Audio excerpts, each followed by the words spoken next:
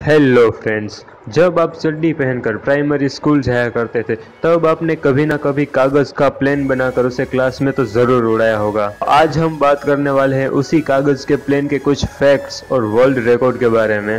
अब आप सोच रहे होंगे कि इसमें बड़ी बात क्या है? ये काम तो हम तब से करते आ रहे हैं जब हमने पेंट पहनना भी नहीं सीखा था।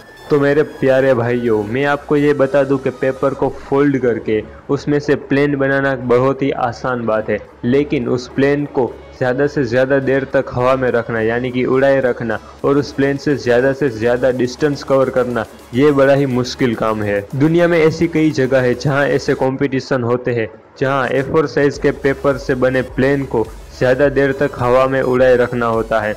या फिर उसे ज़्यादा डिस्टेंस कवर करना होता है। कई साल पहले, जब रेड बुल ने ऐसा कंपटीशन ऑर्गेनाइज किया था, तब उसमें दुनिया भर के लगभग छियालीस हज़ार से भी ज़्यादा लोगों ने पार्टिसिपेट किया था। इस कंपटीशन में कई सारे चैलेंजेस होते हैं। सबसे पहला चैलेंज था कि पेपर को ज़्यादा से ज़्यादा डिस्टेंस तक पहुंचाना, और इस चैलेंज को बल्गेरिया के वेसेलिन इवानोव ने जीता था।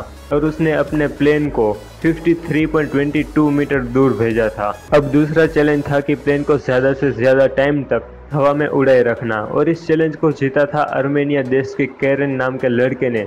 जिसने प्लेन को 14.36 सेकंड तक उड़ाए रखा था। जैसे मैंने पहले भी बताया कि पेपर को फोल्ड करके उससे प्लेन बनाना तो काफ़ी आसान होता है, लेकिन उसी प्लेन से अगर आपको ऐसे कंपटीशन जीतने हैं तो आपको कई सारी मुश्किलों का सामना करना पड़ता है। जैसे कि आपने भी कई बार नोटिस किया होगा कि ए साइज़ का पेपर है जो कि जेरोक्स के लिए यूज़ होता है।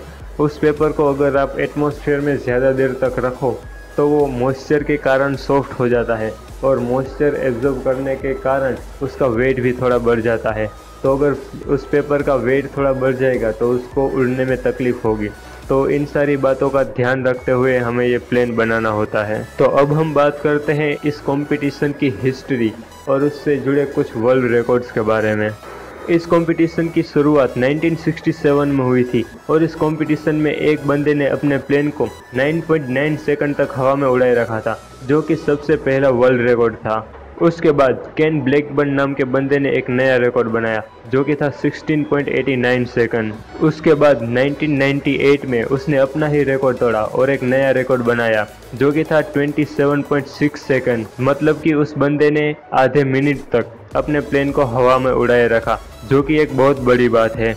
और इस रिकॉर्ड को तोड़ने की कोशिश कई लोगों ने की, लेकिन 12 साल तक कोई इस रिकॉर्ड को छू भी नहीं सका। फिर 2010 में जापान के एक ओरिगामी एक्सपर्ट ने एक नया रिकॉर्ड बनाया, जो कि था 29.2 सेकंड तो अब हम बात करते हैं प्लेन से ज़्यादा से ज़्यादा डिस्टेंस कवर करने के बारे में। तो 1985 में टोनी फ्लेंच नाम के बंदे के प्लेन ने 58.82 मीटर जितना डिस्टेंस कवर किया था, और इस रिकॉर्ड को 18 साल तक कोई नहीं तोड़ सका था। फिर 2003 में नया रिकॉर्ड बना।